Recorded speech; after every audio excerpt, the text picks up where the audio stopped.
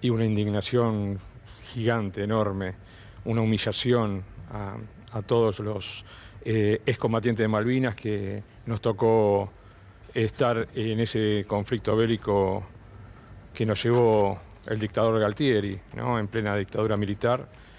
Y no quiero imaginar si a nosotros, después de, de 41 años, nos afecta de esta manera, no quiero imaginar a los familiares de los caídos en Malvinas cómo les habrá llegado ese mensaje ¿no? tan, tan agresivo, tan violento, tan vende patria, digamos.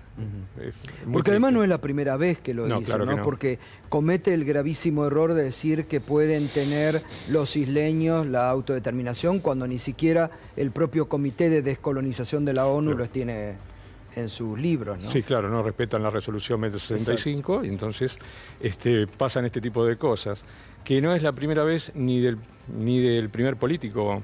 Eh, tenemos que recordar también que su socio Mauricio Macri y su socia Patricia Bullrich, que entregaban las, las Malvinas por unas vacunas. O sea, es, como un plan sistemático que tienen de entregar la soberanía de Malvinas. Bueno, a eh, peor, ¿no? Eh, disculpame, eh, peor, ¿no? Un diplomático de Macri borracho estuvo a punto de entregar, entregó buena parte de los recursos naturales, ¿no? Sí, sí, bueno, es una locura total. Aparte, sin, sin tener en cuenta que, que pueden vivir quien sea, y las Malvinas, total, es territorio argentino. O sea, nadie dice que, dejen de ser isleños, eh, no sé, la nacionalidad que, tengan los que vivan ahí, pero en territorio argentino. Acá pasa es entregar ese territorio nuestro, que está en la Constitución Nacional, y anoche eh, el nefasto candidato Javier Milei dijo este, como que no eran argentinas, que ya iban a, volverse a ser argentinas. Entonces es, muy difícil discutir o debatir con, personajes de este tipo y todo ese entorno que, lo acompaña, que lamentablemente hay muchos de la familia militar, que a ellos eh, yo apelo y les pido, a la familia militar, ya sea que estén en, digamos, en actividad o retirados, a los civiles que están en las Fuerzas Armadas, que sé que la gran mayoría eh, votaron primero a Patricia Burri y a Javier Milei, que reflexionen que, si hubo tanta, tantas muertes, tanto dolor hasta el día de hoy por un ataque criminal de Margaret Thatcher, que dicho sea paso, es una ídola política, es líder política del candidato Javier Milei, eh, dejó a 323 argentinos custodiando el Atlántico Sur. Ese, dolor, esa indignación es muy difícil de superar. Entonces yo les pido a toda esa familia militar que tanto dicen que las Malvinas son argentinas, bueno, no pueden votar a un personaje de esta característica. Ramón, eh, vos fuiste uno de los que pudiste y contar y seguir contando lo que vivieron en Malvinas, porque incluso vos fuiste dado por muerto, porque volaste por los aires, un ataque, ¿no? Sí, el, primer ataque británico en, la base aérea militar Condor, Cóndor, en la zona de Darwin y Goose Green, Pradera del Ganso.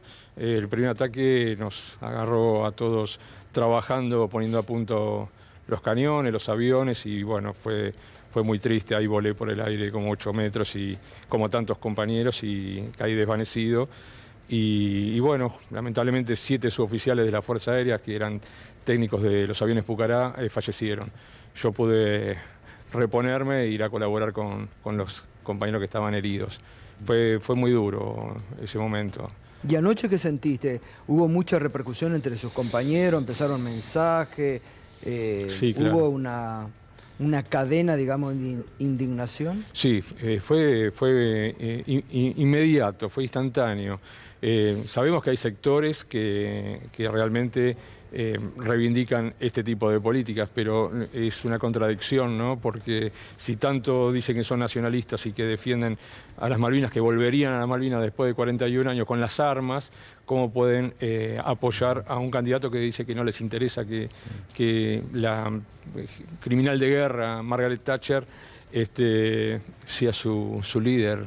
mundial, es, no lo podemos comprender. Mm. Nos duele mucho, Lamentablemente todos sufrimos estrés postraumático de guerra, muchos eh, medicados, este, muchos suicidios, muchos suicidios. más de mil suicidios, y, así tan livianamente dicen lo que dicen, ¿no? Este, por eso yo apelo a, no solamente al candidato de la casta política, que es Javier Milei, junto con Macri y Bullrich, sino a la casta militar, a, través de Victoria Villarruel, este, a que hablen con, a ver qué opinan las personas que realmente, porque uno lo va llevando para que llegue al poder y después, bueno, ¿no? Está lo que sabemos.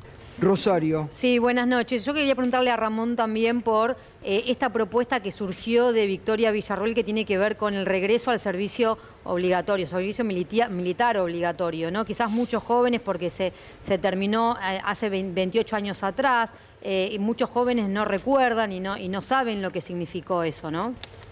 Sí, realmente es volver al servicio militar obligatorio, es volver a esclavizar la juventud ante ciertos este, cuarteles y militares que lo único que quisieron fue utilizarlos para beneficios personales. Eh, y lo digo porque yo hice el servicio militar obligatorio y sé que hay muchos de mis compañeros que estaban felices de haberlo realizado, ahora a la distancia, eh, y están de acuerdo. No sé si estarían tan de acuerdo si van sus hijos y sus nietos a ser este, vapuleados, usados, y hacerles perder tiempo, más que nada, y torturados, porque eh, eh, todos esos castigos son, torturas. esos famosos salto rana, y eso era la destrucción. Yo, como jugador de voleibol, este, las rodillas sufrían como un horror, era. Y, este, entonces este, es perder tiempo, eh, ser esclavizados y, no hay que volver a eso porque para eso eh, se, propuso y se lleva adelante el servicio militar voluntario para que los que realmente quieran ser militar, seguir la carrera militar y poder eh, entrenarse como corresponde, lo, lo pueden hacer sin ningún problema. No sé por qué hay que andar este, otra vez este, eh, incorporando el servicio militar obligatorio. Tremendo. Es una vergüenza Tremendo, eso. tremendo. ¿Ramón? No, este, la verdad que yo jugué y fui entrenador de, la primera de voleibol de Argentinos Juniors y me puso muy feliz eh, que fue uno de los primeros clubes que, que prohíbe la entrada a personas con la remera con la bandera británica, al igual que, ah, mi club Ferrocarril Oeste. Y aprovecho para decirle a todos esos, esos alumnos que durante años fuimos a malvinizar a las aulas mm. eh, de primaria, secundaria, incluso a la universidad, que nos veían, nos preguntaban, sentían, nos sentían, nos abrazaban, nos daban notitas, que esa gente está ahora, esos chicos, ya no son tan chicos y tienen la capacidad de votar. Si tanto eh, trabajaron el tema de Malvinas en las escuelas, primaria, en secundaria, en la universidad muy poca, yo tengo dos títulos en universidades públicas distintas, San Martín y La Matanza, muy pocos, salvo en La Matanza, en Historia Argentina, se trabaja muy poco el tema de Malvinas, pero en primaria eh, sí se trabaja mucho. Entonces esos chicos están en capacidad ahora de votar. Si tanto eh, sentían a los excombatientes que íbamos a dar charlas y, poder conversar sobre el tema y hacer trabajos prácticos juntos. Bueno, este es el momento de demostrarnos que realmente lo sentían y nos querían. Así que eh, les pedimos que no voten a mi ley. Exacto. Bueno, muchas gracias.